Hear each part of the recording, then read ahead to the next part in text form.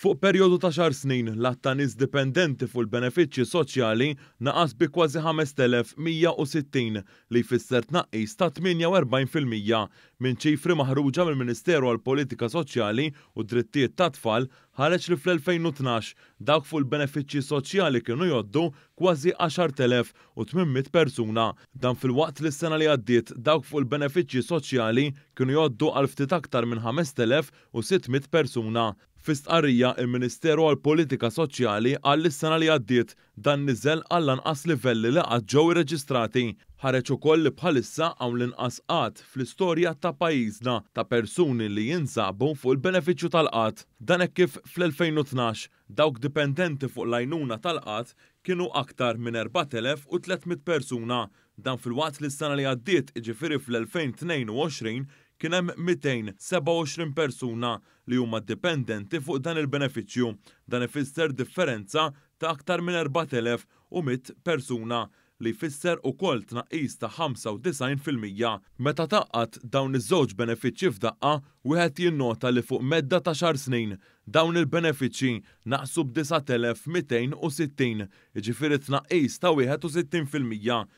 Dwar dawn iċ-ċifri, one News tkellem mas-Segretarju Permanenti fil-Ministeru Mark Musu li spjega li dan il-proċess ġie xprunat b'miżuri bħat-tapering tal-benefiċċji soċjali u s-servizzi taċ-child care b'xejn. Il-game changer, ħa ngħid hekk, kienet in-numru ta' miżuri li kienu ġew introdotti, bdew jiġu introdotti mill-2014 u 2015 'il quddiem. L-ewwel nett, b'mod globali, ovvjament, it-tkabbir fl-ekonomija u l-ħolqien tal-opportunitajiet tax-xogħol għenu sabiex dak li jkun, ħa ngħid hekk, ikollu iktar opportunità li jitlaq minn fuq id-dipidenza soċjali u jidħol fid-dinja tax-xogħol. Huwa qal li l-Gvern qed ikompli jaħdem biex inaqqas l-għadd ta' dawk li jiddependu fuq l-assistenza soċjali, fosthom bit-titjib tat-tapering tal-benefiċċji u anke titjib fl-in-work benefit. fl-aħħar baġit, jiġifieri fil-baġit għal din is-sena u diġà miżura li implimentajna fil-fatt, il-persentaġġ li persuna żżomm mill-benefiċċju soċjali, mill-assistenza soċjali jekk issib ix-xogħol u tidħol fid-dinja tax-xogħol, żdied b'għaxra fil-mija.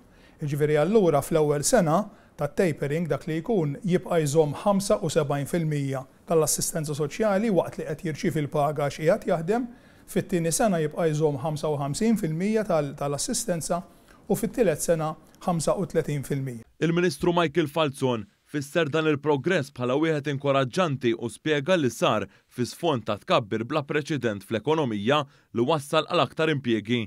Illum Malta għandha fost l-aktar rati baxxi ta' qgħad fl-Ewropa. Il-Ministru qal ukoll li l-Gvern se jibqa' impenjat li jkun ta' spalla għal dawk li għadhom dipendenti fuq il-benefiċċji soċjali biex huma wkoll jidħlu fid-dinja tax-xogħol.